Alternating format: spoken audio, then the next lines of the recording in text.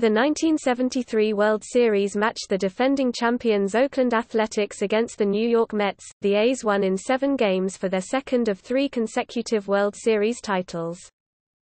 The Mets won the National League East Division by one and a half games over the St. Louis Cardinals, then defeated the Cincinnati Reds, three games to two, in the National League Championship Series.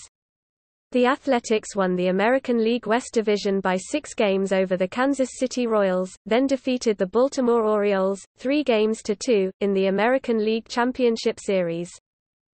This was the first World Series in which all weekday games started at night. The three weekday games the previous year were scheduled to be played at night, but a postponement of Game 3 eliminated the scheduled off day between Games 5 and 6, and Major League Baseball moved Game 5 on Friday to an afternoon start to allow the teams more travel time for the day game on Saturday. This was the last World Series in which each team produced and sold its own game programs for its home games. Starting in 1974, Major League Baseball printed an official World Series program that was sold in both stadiums. This was the third consecutive World Series, all seven games, in which the winning team scored fewer runs overall. The trend continued for the next seven-game series in 1975.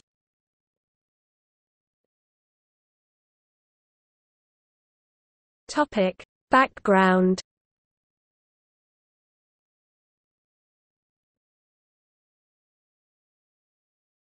Topic: New York Mets. The 1973 Mets .509 season winning percentage is the lowest posted by any pennant winner in Major League history. Injuries plagued the team throughout the season. The team got off to a promising 4-0 start, and went .600 for the month of April. Before long, however, the team was soon beset with injuries and fell in standing, just as with their previous season.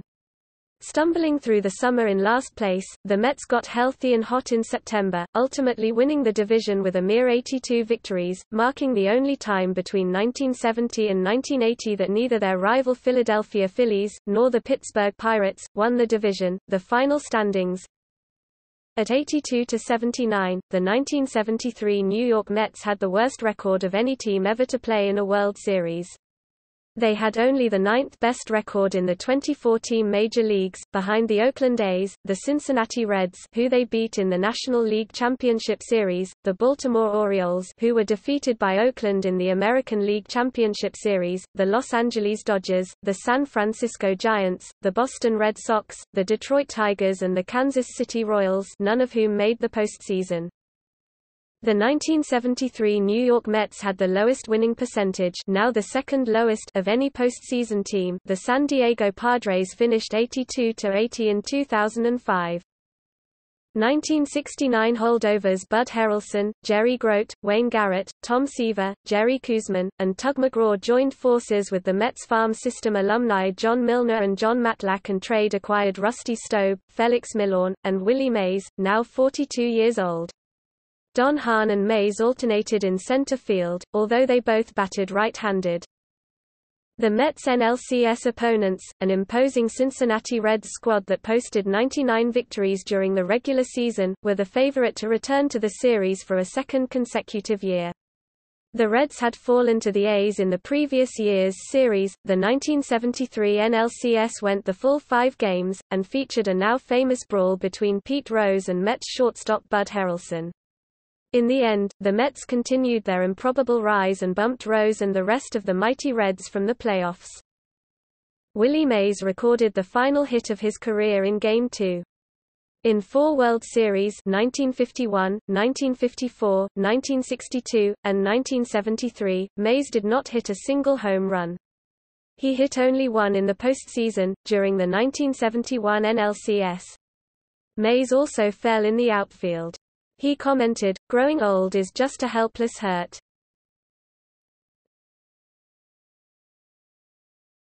Topic: Oakland A's.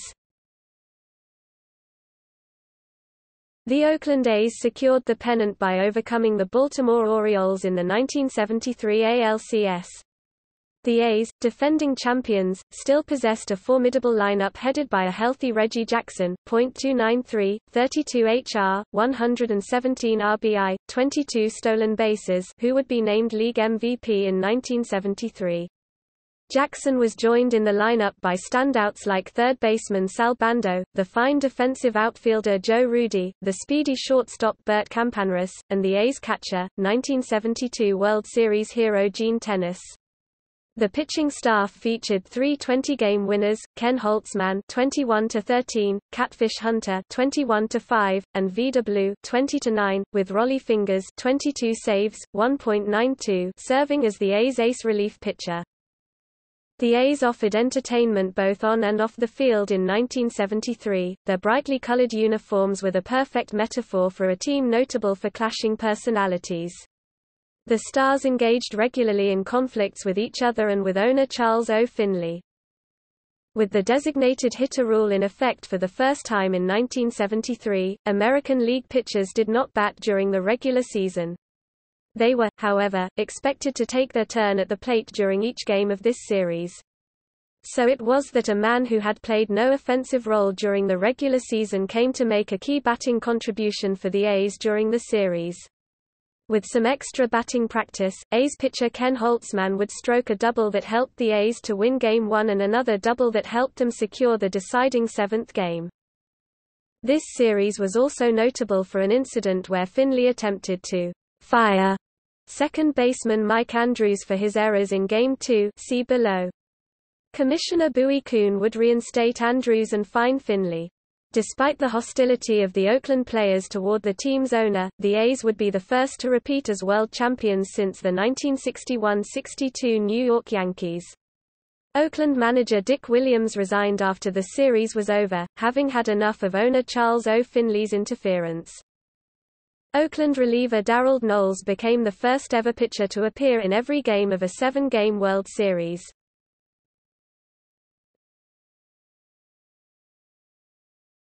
Topic. Summary. Al Oakland A's 4 versus NI New York Mets 3 Topic. Matchups.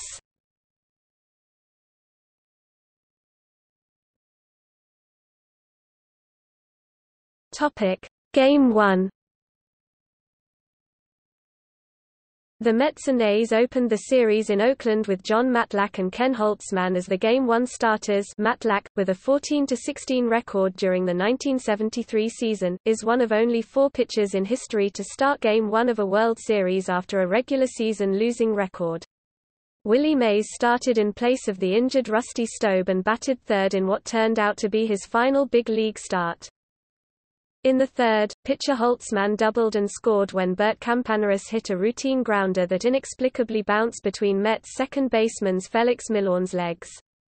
Campaneris then stole second and scored on a single to right by Joe Rudi. The Mets came up with a run in the fourth on an RBI single by John Milner that scored Cleon Jones. Holtzman, Rollie Fingers, and Darold Knowles then shut the door on the Mets offense. Knowles earned the save.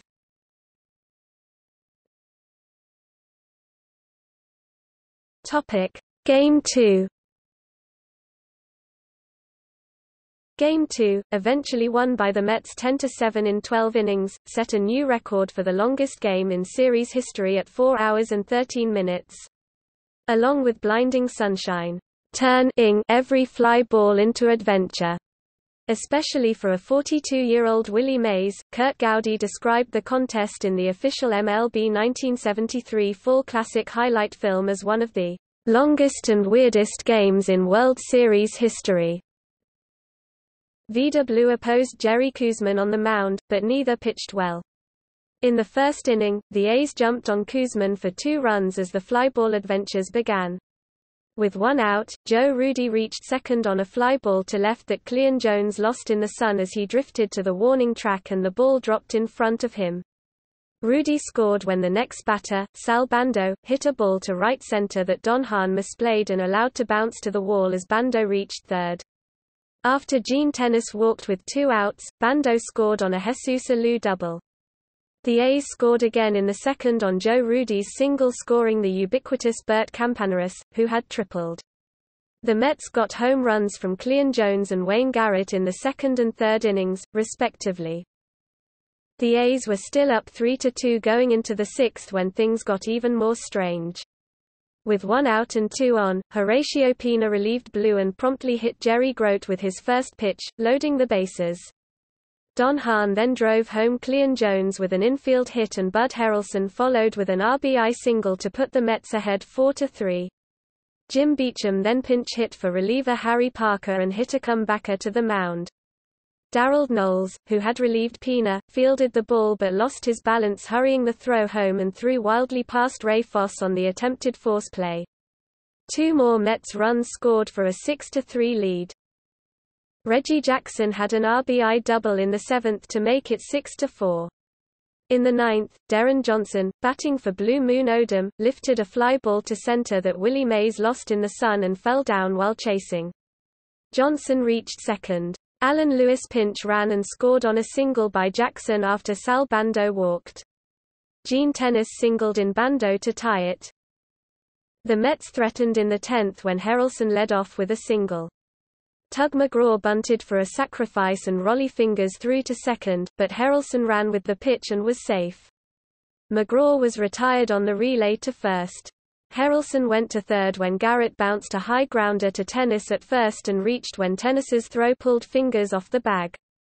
Harrelson then tagged and attempted to score on a Felix Millan fly to left. Harrelson appeared to have sidestepped Fosse's tag at the plate, and replays from NBC's broadcast clearly showed Fosse missed him, but he was called out by umpire Augie Donatelli, prompting a heated outburst from Harrelson, on-deck batter Willie Mays, and manager Yogi Berra. The game stayed knotted at 6–6 until the top of the 12th. Harrelson led off with a double and went to third when McGraw reached first on a bunt that Sal Bando overran. With two outs, Mays drove in Harrelson with a single that would turn out to be the final hit and RBI of his storied career. It gave the Mets a 7–6 lead. After Jones walked to load the bases, John Milner grounded to second baseman Mike Andrews, but the ball went through his legs. McGraw and Mays scored to make the lead 9–6. The next batter, Grote, hit another grounder to Andrews, but his throw to first pulled Tenace off the bag though NBC replays showed Tenace kept his foot on the bag. Jones scored to make it 10–6. The A's added a run in the bottom of the inning when Jackson reached third as Mays lost yet another fly ball in the sun and a Alou singled him home, but Andrews' errors proved too much to overcome. McGraw, who pitched six innings total, earned the win, and George Stone the save and the Mets evened the series. A's owner Charlie Finley was furious at Andrews' 12th inning miscues. He proceeded to punish Andrews and further alienate A's manager Dick Williams by placing the infielder on the disabled list, citing a fake injury that would have sidelined Andrews for the rest of the series. Commissioner of Baseball Bowie Kuhn stepped in, reactivated Andrews, and disciplined Finley.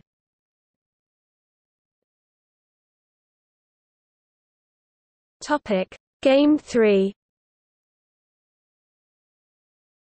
Game 3 matched up Tom Seaver and Catfish Hunter. Hunter had trouble early on when Wayne Garrett homered to right and Felix Millan scored on a wild pitch, but then found his rhythm. Seaver kept the A's off the board until the sixth, when Sal Bando and Gene Tenace broke through with consecutive doubles that delivered a run and cut the Met lead to 2–1. Joe Rudi came up with another clutch hit in the eighth when he singled in Bert Campaneris to tie the game.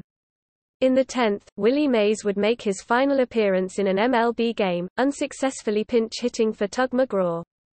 Campaneris delivered the game-winning RBI in the 11th when he singled off Harry Parker to score Ted Kubiak. Rollie Fingers got the save.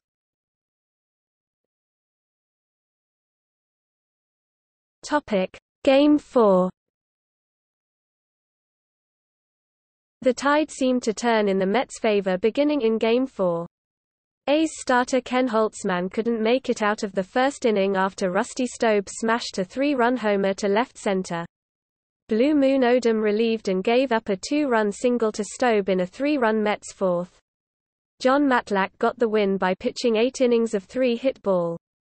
Ray Sadecki pitched the ninth and got the save. Mike Andrews entered the game as a pinch hitter in the eighth, prompting a standing ovation from the Mets home crowd, in a display of defiance toward A's owner Charlie Finley. Andrews grounded out in what would be his last ever major league at bat.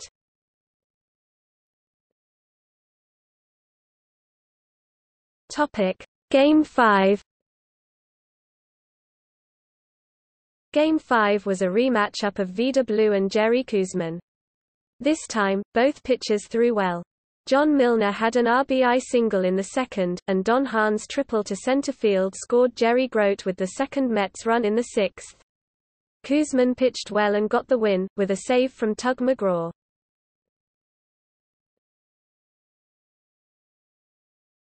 Topic. Game 6 The A's won, thanks to the clutch pitching of Catfish Hunter who outdueled Tom Seaver, and the timely hitting of Reggie Jackson. Jackson doubled and drove in Joe Rudi in the first inning and doubled in Sal Bando in the third to give Oakland a 2-0 lead. In the eighth inning, the Mets threatened, knocking Hunter out of the game after Ken Boswell singled in a run. Reliever Darold Knowles put out the fire by striking out the sore-shouldered Rusty Staub on three pitches with two men on base. In the bottom half of the inning, the A's added an insurance run when Jackson singled, advanced to third on center fielder Don Hahn's error, and scored on Jesus Alou's sacrifice fly. Rollie Fingers got the save in the ninth inning to force a seventh game.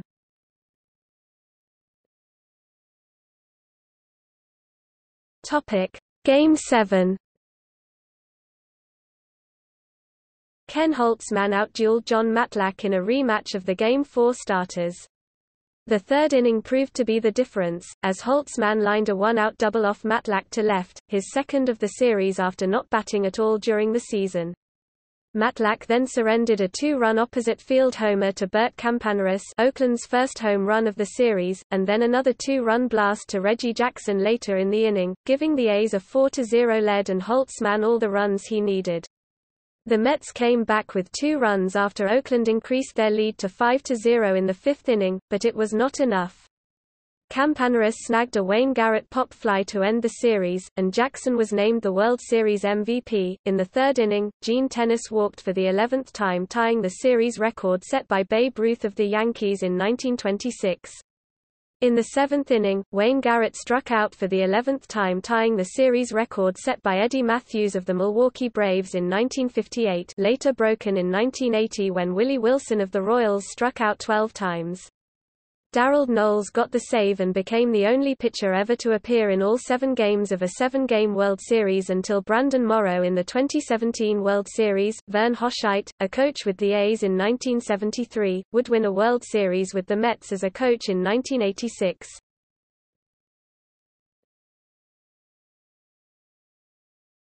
Topic: Composite line score 1973 World Series 4 to 3 Oakland A's AL over New York Mets NL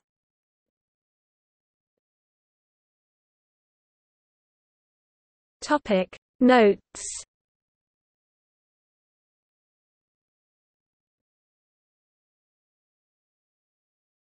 Topic. See also.